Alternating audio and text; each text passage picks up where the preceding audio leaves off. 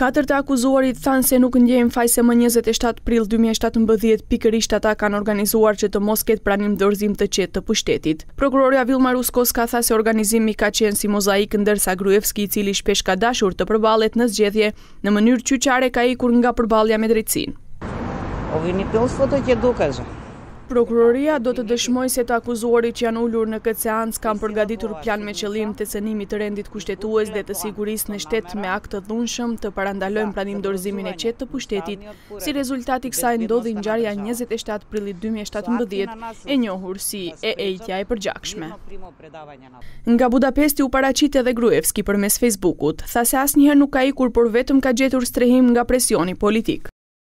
Asnjëherë nuk kam ikur nga përballja me drejtësinë, deri në ditën e fundit kam shkuar në seanca gjyqësore dhe për ata që nga afër dhe në mënyrë të paanshme e ndiqnin procesin, tregova dhe dëshmova se po më gjykojnë pa faj, duke pasur parasysh përndjekjen politike me procese të montuara politike dhe se gjykata, njëjtë si prokuria, është vendosur për qëllime politike. dhe punon me motive dhe instruksione politike.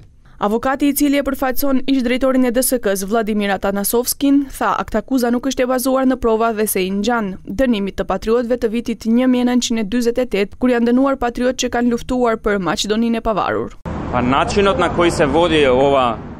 Mënyra sipas së cilës udhëhiqet ky gjykim dhe mënyra e vendosjes së prokurorisë është në traditat më të mira të vitit një mijë e nëntëqind e dyzet e tetë, kur në bazë të dëshmitarëve të imagjinuar u dënuan shumë patriotë që luftuan për Maqedoninë e Pavarur. Vo konkretniov slučaj.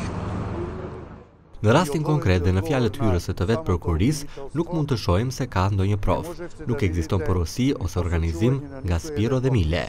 Nuk ekziston transport i organizuar për atë ditë, as provë për diçka të tillë, ndërsa nuk mundet veprimi sipas rregullores së Trajko Veljanovskit të karakterizohet si terrorizëm.